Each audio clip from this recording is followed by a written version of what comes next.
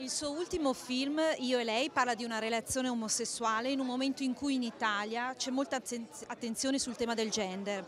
Eh, un tema che in America ha portato alla regolarizzazione dei rapporti omosessuali. Che, ehm, che reazione ha avuto dal pubblico italiano e che cosa si aspetta da quello americano?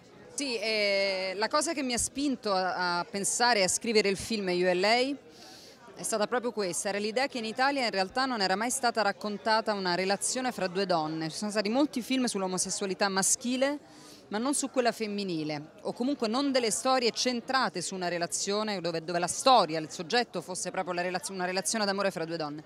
Ogni tanto comparivano dei personaggi di, di giovani donne omosessuali in film corali, però mai nella, un film centrale su questo.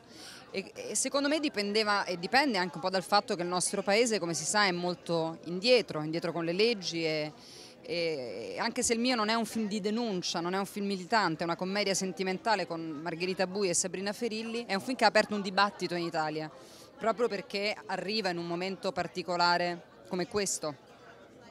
E mi auguro eh, di aver dato nel mio piccolo un contributo, perché un mio è un film che racconta una storia d'amore ma lo fa con un tono e con una attenzione all'uguaglianza di tutte le storie d'amore, non vuole raccontare un amore straordinario, un amore diverso, ma un amore uguale. E questo è stato accolto dalla, non solo dalla critica ma anche dal pubblico con entusiasmo, questo significa secondo me che le persone, la società è molto più avanti delle leggi da noi.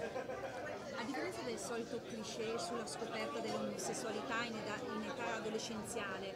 Eh, il suo film tratta in maniera molto delicata un amore tra due donne mature, quindi due scelte differenti da quello che abbiamo visto finora. Sì, anche questa era l'idea, no? Vabbè, il film è nato perché dopo Viaggio Sola volevo lavorare ancora con Margherita Bui, con cui mi ero trovata molto bene e da un incontro con Sabrina Ferilli proprio al Festival di Cannes durante durante La grande bellezza, il film di Sorrentino. Ho incontrato queste due donne, cioè le ho immaginate insieme, ho immaginato appunto una storia una storia d'amore. E la, cosa, la particolarità di questo film è anche questa, che in effetti, sempre parlo in Italia, eh, perché all'estero se ne sono visti diversi, ma era anche la prima storia che, in cui le protagoniste non fossero due giovani ragazze alla, alla scoperta della, della sessualità, della propria sessualità, ma due donne consapevoli, mature, due, due persone che vivono in un momento eh, definito la loro storia, in questo caso anche la loro crisi, perché è una, un rapporto anche in crisi quello tra le due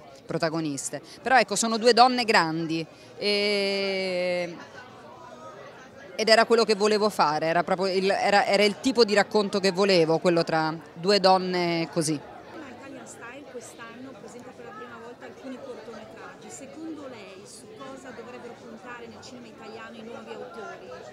Io intanto mi sento un giovane autore, cioè non sento di poter dare consigli, anzi li ricevo volentieri dagli altri. Ogni volta che penso ad un film, cosa sarebbe giusto raccontare, cosa, cosa, non è stato ancora fatto. Ecco, nel caso di io e lei dicevo questa storia in Italia non è stata ancora fatta, mi sono sentita di, di scriverla, di farla.